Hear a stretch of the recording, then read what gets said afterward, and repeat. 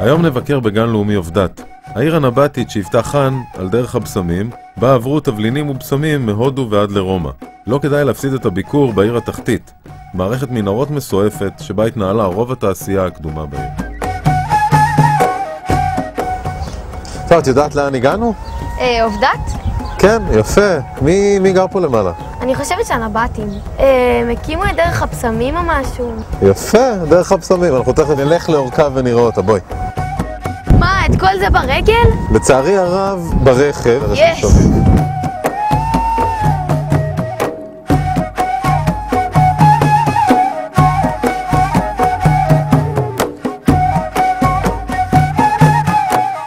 אז מה זאת הייתה דרך הבשמים הזאת?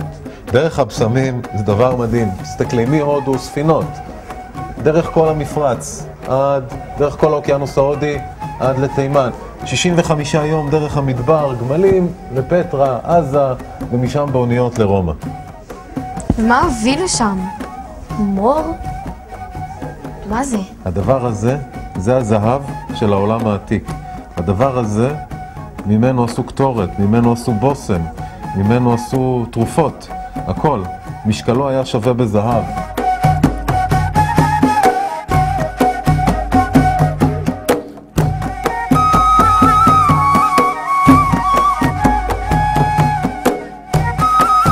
את רואה את אה, דרך הבשמים פה?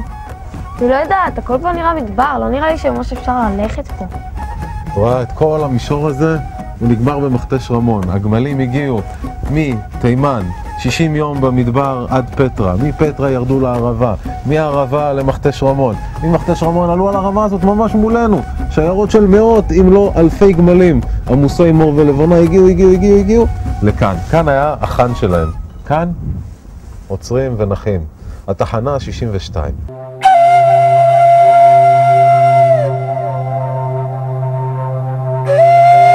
תמונות אה, כואבות מהנגב, מי השחית בלילה את העיר הנבטית עובדת שבהר הנגב, אתר מורשת עולמי של אונסקו.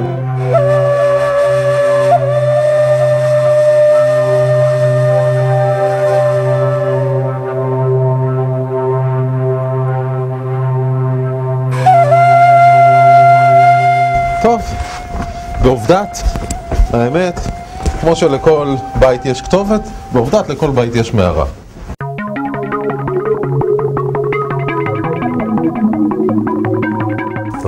שי, במערות פה מתחת לעובדת, כל. כל, כל התעשייה של העיר, הכל קרה. פה עשו שמן זית, פה אחסנו יין, פה עשו הכל.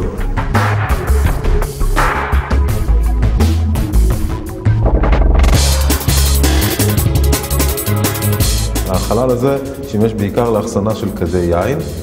למעלה בעיר אי אפשר לאחסן אותם כי בעונת הקיץ חם מדי. אה, לכן צריכים לאחסן אותם במקום עם טמפרטורה קבועה, חשוב. אה, הבנתי, אז זה בעצם היה מרתף ינות נבטי. כן, ובציר שנת 527 היה משובח במיוחד. בואי.